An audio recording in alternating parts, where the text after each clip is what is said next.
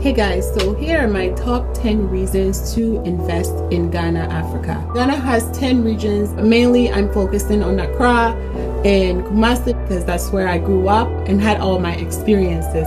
Very first one is the weather. It is mostly sunny in Ghana, two rainy seasons, the heaviest being between April and June. Number two reason is democracy. So just like Americans, Ghanaians also get to choose a new president every four years and currently empowers the NPP party.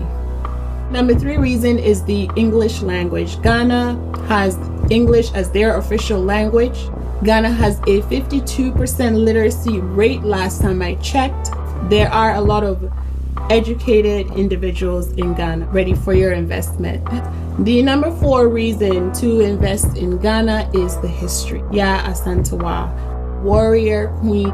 She fought against the British. She was caught and exiled, but eventually made history.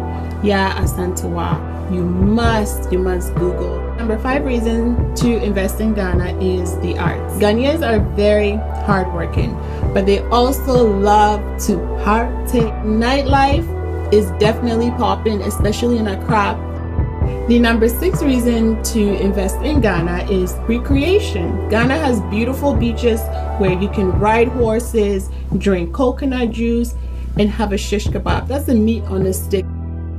Ghana also has the zoo with some wildlife. The Aburi Gardens is a gem, real, beautiful, natural environment. The number seven reason is the festivals. There are festivals in Ghana throughout the year. Some are cultural, some are artistic, especially Chale, the Chale Wote Festival. It's so awesome. The acrobatics, the tricks. It is definitely, definitely hot. The number eight reason to invest in Ghana is the mineral and agricultural resources. For the agricultural, we are into the cocoa farming, and for mineral resources, Ghana has gold, diamonds.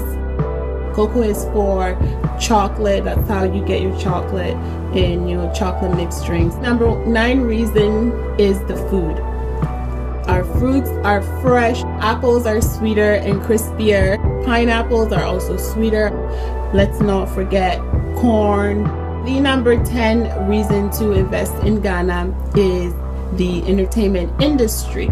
The movie industry is booming. If you want to have a laugh, just watch one of those Akan movies with Lil Win and Akrobeto. Yes, see his nose.